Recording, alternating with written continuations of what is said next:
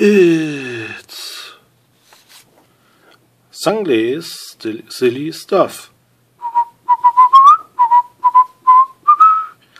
Hi guys, this is uh, Sanglier 0815, the wild boar, and I just wanted to post a video comment to Rachybop's Celeb Sunday number 52.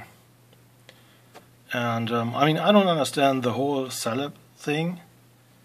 Um, I mean, what's so great about them? I mean, they are just human beings and they, they may live their lives, but I'm not really interested in them. But here, this is really weird because Rachybop says she is excited about an upcoming uh, commercial for a six pack trainer. You know, she said something about AbFab, so I assume that is a new abdomen trainer and uh, that is something I can really not understand. And um, what I don't understand either is uh, this picture here, this this photograph that she that they have for the commercial, because usually uh, in a commercial for an abdomen trainer, I would think you would see uh, ladies in sportswear, you know, showing actually uh, their abdomen and not wearing a jacket that covers everything like like here. Um, yeah, that's just uh,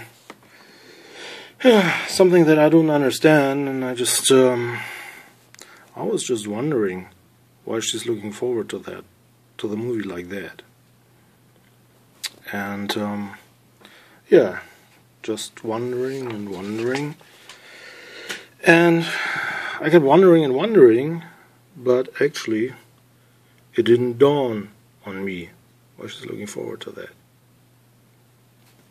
Oh, and also, I don't know why I have these uh, fun BBC DVDs here sitting on my desk. Um, I don't know. I need to put them away. But uh, these uh, uh are DVDs that can be bought um, from Amazon.co.uk and that uh, works really fine and yeah.